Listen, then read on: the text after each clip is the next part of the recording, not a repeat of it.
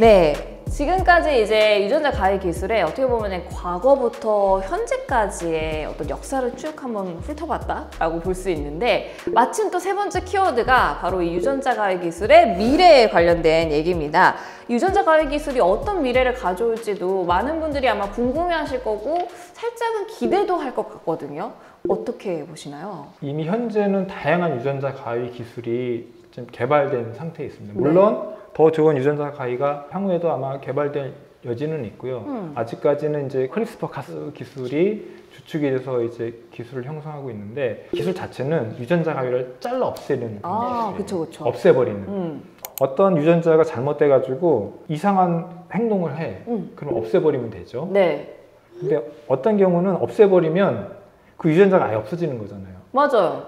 아예 없어져 버리면은 문제가 생길 수 있죠. 그렇죠. 어떤 경우는 문제가 생기지 않을 수도 있어요. 음. 아직까지 이 유전자가 문제만 일으키지 음. 정상적일 때 무슨 기능을 하는지 잘 몰라. 이제 아, 그런 경우도 있어요. 그렇죠. 네. 그런 경우는 아예 없애버리면 되는데 음.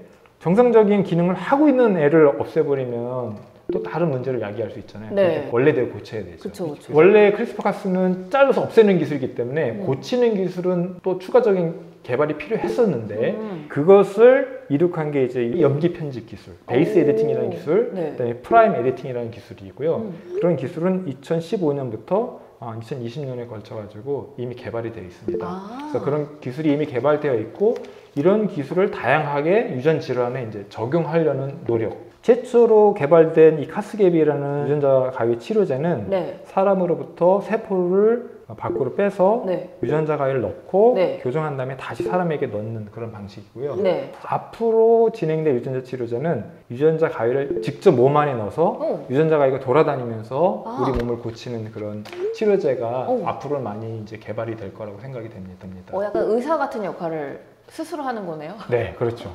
그래서 사실은 전자에서 말씀드렸던 카스게비오 같은 그 이걸 엑스비보 치료제라고 하는데 네. 어, 우리 몸에서 세포를 뺐다가 유전자 편집을 하고 다시 넣는 이런 과정은 사실은 대형 병원에서만 할수 음, 있는 그쵸. 거기 네. 때문에 그런 치료제는 음. 병원 시설이 아주 잘 갖춰 있는 미국 같은 선진국가가 음. 아니면 사실은 치료제가 쉽지는 않거든요. 네, 네. 그러니까 이거를 음. 다양한 유전자 환자들이 치료 혜택을 받기 위해서는 네. 인비보 치료제의 적용이 필요하고요. 음. 또 실제 인비보 치료제를 개발을 해야지만 다양한 머리부터 발끝까지 이 걸쳐져 있는 유전 질환을 치료할 수 있기 때문에 음. 그런 치료제 시장이 앞으로 많이 발전을 할 것이고요. 음. 그런 과정 속에서도 기본적으로 아까 말씀드린 CRISPR Cas, 네. 그다음에 base editing, 음. prime editing, 그 다음에 Cas 13 기술 이런 것들이 아마 적용이 될 거라고 생각이 됩니다. 어, 만약에 진짜로 이게 기술이 개발 잘 되면 거의 만능 아닌가요? 이렇게 뭔가 유전적인 거를 다 내가 원하는 대로 자르고 네. 다시 대체할 수도 있고 네. 그러면은 약간 불로장생도 될 수 있고 약간 그런 네. 미래를 꿈꿔도 되는 건가요? 거기에는 기술적인 이슈와 비기술적인 이슈가 있는데요.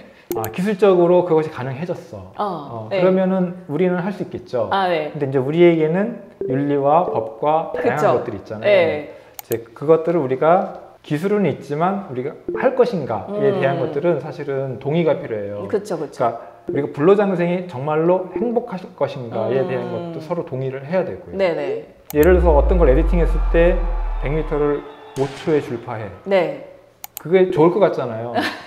모든 사람이 그런 세상에 왔을 때 그것이 정말로 행복한 세상인가에 음. 대한 서로 동의는 사실은 또 필요한 거기 때문에 네네. 기술이 발전을 한다는 것과 그것을 우리에게 실제 적용시킬 수 있는 거는 조금 다른 문제거든요. 네, 그쵸, 그쵸. 물론 기술은 더 발전하려고 빨리 치고 나갈 거고요. 음. 이제 그거를 어떻게 적용할 거냐는 사회적인 합의가 필요한 영역이라고 보여요. 그러면 이 유전자 치료에 관련돼서 조금 더이 사례들이라든지 이런 걸 좀 들어보고 싶거든요. 네. 음. 네, 유전자 가의 큰 영역은 치료제이기도 하지만 네. 진단의 영역도 사실 진단. 네. 아까 말씀드렸듯이 유전자 가의 한 특징 중에 하나는 어떤 한 20개의 서열을 인식하고 구별할 수 있다는 데 있잖아요. 네. 그렇기 때문에 이제 잘못된 것을 찾아가서 고치듯이요. 암도 특정 유전자가 한 군데가 잘못돼서 생기는 경우가 많아요. 음. 그래서 암이 되는 경우가 많거든요. 네. 그래서 이 정상적인 유전자하고 암을 발생시키는 잘못된 변이 있는 유전자를 유전자가에는 구별해낼 수가 있어요. 오. 그래서 그렇게 암 진단에 활용할 수가 있고요. 음. 그리고 우리의 유전자하고 바이러스의 유전자는 다르죠. 그쵸. 그러니까 얘가 내 건지 바이러스 건지를 음. 구별할 수가 있어요. 어. 그래서 최근에 코로나 진단에 이용했었어요. 아. 그래서 그렇게 다른 유전자를 구별할 수 있는 능력 때문에 진단에 이용할 수 있는 게 바로 유전자 가위 하나의 음. 응용 범위고요. 음. 다만 유전자 가위는 정확하게도 진단할 수 있지만 빠르게 진단을 할 수가 있거든요. 아. 그래서 정확하게 진단하는 것보다는 빠르게 진단하는 데 응용 가치가 더 있기 때문에 네. 코로나 진단에 더 많이 활용이 됐어요. 아. 왜냐면 코로나는 예를 들어서 여행 왔다가 출국해야 되는데 공항에서 좀 증상이 있어가지고 빨리 이거 코로나 걸렸는지 안 걸렸는지 알고 그쵸. 싶을 때 그 짧은 기간에 네. 그럴 경우에는 이제 유전자 가위 진단을 이용해서 음. 뭐 30분 만에 45분 만에 결과를 받아볼 수 있는 거죠. 음. 그러니까 PCR보다 훨씬 빠른 거죠. 그렇죠, 그렇죠. 근데 암 진단 같은 경우는 그렇게 45분 만에 빨리 해볼 필요는 없거든요. 그리고 병원에 가서도 하루가 걸려도 음. 더 진- 정확한 진단들이 많이 있기 때문에 음. 할 수는 있지만 그거에 대한 필요성은 그렇게 크지 않은 상태고요. 네. 음. 어, 응용 범위는 조금 더 빨리 결과를 알아낼 수 있는 이 감염성, 바이러스성 진단에 좀 많이 활용되는 경우가 있었다. 어, 바이러스성 진단 이런 것들도 할 수 있다라고 말씀해 주셨는데 어 근데 저는 이런 질문도 또 드려보고 싶은 게 아까 저희 PD님이 저한테 질문으로 뭐 유전자 바꾸게 된다면 어떻게 바꾸고 싶으세요? 뭐 이런 질문을 주셨어요. 네. 제가 혹시 이런 유전자나 DNA가 성격적인 부분에도 영향을 주는 거라면 네. 약간 걱정이 많은 그런 유전자도 네. 변형이 가능할까? 이런 생각을 했었거든요. 어, 되게 중요한 질문을 하셨는데요. 네. 왜 걱정이 많을까요, 사람은? 어, 미래에 대한 걱정? 네. 생각이 많아서. 이걸 진화론적으로 말씀을 드리면요. 네. 두려움과 걱정은 우리가 몇만 년 전만 해도 동물들하고 진짜 와일드한 세상에서 막 경쟁하면서 싸우면서 언제 그렇죠. 잡아먹힐지 모르는 상황에서 음. 살았잖아요.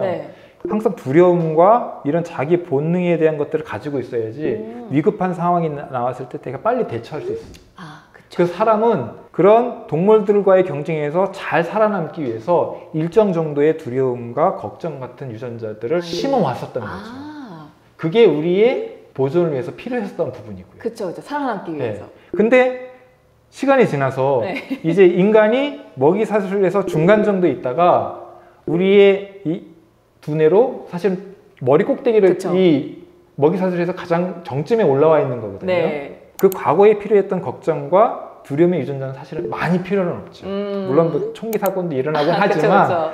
많이 해소가 돼가지고 음. 과연 지금 진화론 학자들은 이 인류에게 있어서 이 두려움의 유전자는 부시대의 산물이다. 어. 불필요한 거기 때문에 에디팅해서 음. 할 필요가 있다라고 주장하는 부분도 있어요. 오. 하지만 이것도 여전히 사회적인 합의의 영역이고요. 네. 또 하나는 아직까지 어떤 유전자를 잘 에디팅을 해야지 음. 두려움이 없어질 거라는 정보는 우리에게는 없어요. 아. 이게 하나의 유전자인지 음. 50개의 유전자인지에 대한 정보가 없고요. 네. 50개라면 그 50개 유전자가 어떤 유전자인지도 아직은 잘 몰라요. 음. 그러니까 조금 더 유전자에 대한 연구가 아. 정신학과 관련해서 네. 이루어져야 되고요. 그렇겠네요. 그다음에 과연 두려움 유전자를 없애버려야 한다는 맞아요. 것은 질병의 영역이 아니고 음. 오히려 조금 더 질병이 아닌 다른 영역이기 때문에 음. 이건 좀 더 먼 미래의 후손들이 음. 합의를 해야 될 오. 영역이라고 보여집니다. 그러네요. 그러고 보니까 진짜 생각할 거리들이 굉장히 많아서 들어보니까 앞으로의 이제 유전자 가해 기술에 대해서도 좀 생각을 하게 되는 게 그러면 그냥 기술 개발에만 노력할 게 아니라 다양한 부분에서 좀 봐- 살펴봐야 되는 게 있어야 될 것 같아요. 네. 그 법과 제도라는 것은 기술적으로 이미 이루어졌는데 음. 이거를 현실적으로 조정하거나 규율할 수 있는 게 없을 때 네. 그 이후에 챌린지를 받았을 때 그걸 어떻게 해결할 것인가 하는 그 고민과 노력 속에서 나오는 거잖아요. 네. 기술이라는 게 이제 먼저 발전이 되면 그 기술이 생겨남으로써 새롭게 부- 어, 발생하는 이런 문제들을 그렇죠. 이제, 규율하고 조정을 해야 되는 음. 거니까 음. 이제 아마 이게 치료제로 적용이 되고 네. 동물과 식물의 에디팅이 되고 음. 또 사람까지 또 에디팅이 되고 음. 아까 말씀드렸듯이 모기도 에디팅하고 그러면 다양한 이슈들이 발생할 테니까 그렇죠. 이걸 어떻게 잘 지속 가능하게 regulation 할 수 있을까 음. 하는 그런 부분. 네. 근데 또 너무 과도하게 하면은 아, 진- 기술 발전을 조금 막는 부분도 있으니까 이걸 어떻게 잘 balancing 할 수 있는가에 대한 그런 노력도 필요할 것 같고요. 네. 그다음에 최초의 유전자 가위 치료제가 개발이 됐다 그랬잖아요. 네. 걔가 치료제가 이제 25억 정도 돼요. 오. 음. 물론 한 번 치료제로 이제 영구적인 치료제를 기대하고 있지만 음. 25억을 부담하기가 쉽지는 않잖아요. 그쵸. 그러니까 이거는 사회에서 의료보험 체계에서 가능을 해야 되는 거고 음, 이게 우리나라에서 만약에 들어온다면 음. 치료제는 가능하지만 그것을 상업화할 수 있을까? 음. 이거는 조금 의료 보험 체계의 문제잖아요. 그렇죠. 래서 국가가 다양한 이런 체계, 의료보험 체계를 통해서 음. 돈이 없는 네. 유전 질환 환자들에게 오. 이런 치료제를 적용할 수 있는 그런 시스템을 만들어주는 것도 음. 하나의 경제 시스템에서의 하나의 풀어야 될 숙제라고 이제 보고요. 네. 그 다음에 아까 말씀드렸듯이 어디까지가 질병이고 음. 어디까지가 질병이 아닌가에 대한 그쵸. 영역이 있어요. 맞아요. 누가 봐도 유전 질환은 이제 질병인데 음. 그럼 두려움, 걱정은 이건 질병인가 아닌가 아. 이런 이슈가 있고요. 네. 내가 좀 근육이 빠져, 음. 내가 유전자 해가지고 근육을 강화시키고 싶어. 음. 이건 치료인가 아닌가? 아, 그러니까요. 그러면 나도 정상인 음. 한 사람도 나도 근육 강화해가지고 UFC 선수가 되고 싶어.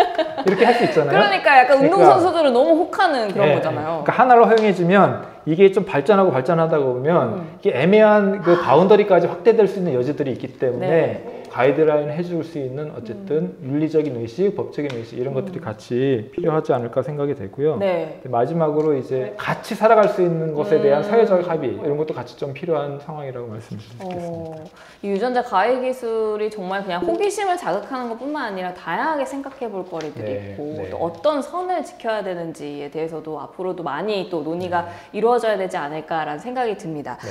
자, 오늘 이렇게 유전자 가해 기술의 과거부터 현재 그리고 미래까지 한번 쭉 살펴봤는데요. 저희 GMO 인사이트의 마무리 코너가 있어요. 바로 이 GMO 슬로건 이벤트입니다. 그래서 자 오늘은요 우리 박사님이 또 땡땡땡 이 빈칸을 채워주셔야 되는데 유전자 가위 기술은 땡땡땡이다. 예, 이 땡땡땡을 어떻게 채워주실 건가요? 네, 유전자 가위 기술은 생태계의 정원사다. 정원사다. 네. 이유도 같이 설명해 주신다면요? 그 정원사나 뭐 미용사 이렇게 표현하면 좋을 것 같은데요. 정원에 보면 이제 다양한 꽃들이 이렇게 서로 다른 특징을 갖고 이렇게 조화롭게 자라잖아요. 그렇죠. 근데 그 자체로도 아름답지만 어떻게 보면 조금 삐져나온 음. 좀 보기에 좀 안 좋은 것들 음. 지나간 사람을 좀 뭐 이렇게 건드릴 수 있는 음. 가시 같은 것들이 어. 그럴 경우는 살짝 다듬어줘서 음. 조화롭게 만드는 네. 그 혹시 들어보셨나요? 미용실 가면은 네. 가장 적게 가위를 대서 가장 아름답게 하는 게 최고의 어. 미용사다 네. 그런 말 들었잖아요 네. 그래서 다양한 생태계가 어울려 살아감에 있어서 조금 불편한 것들을 음. 최소한의 터치로 가장 서로 잘 어울려서 살아갈 수 있게끔 음. 하는 그 정원사와 같은 음. 그런 것이 바로 유전자의 가위 기술이 아닐까라는 오. 생각이 듭니다. 아니 말씀을 들으니까 유전자 가해 기술 과학 기술인데 약간 하나의 종합 예술 같다라는 생각도 듭니다. 자, 우리 GMO 슬로건 이벤트는요 시청자분들도 함께 하실 수가 있습니다. 그래서 영상을 시청하시고요 구독과 좋아요를 꾹 눌러주신 후에 저희 영상 아래 보시면 더보기란을 통해서 이 내용을 참고하셔서 댓글을 남겨주시면 저희가 또 소정의 선물도 드리니까 많이 참여해 주시면 좋겠습니다. 자, 그럼 저희는 여기서 인사드리도록 할게요. 제가 GMO 하면 인사이트 같이 외쳐주세요. GMO 인사이트. 인사이트.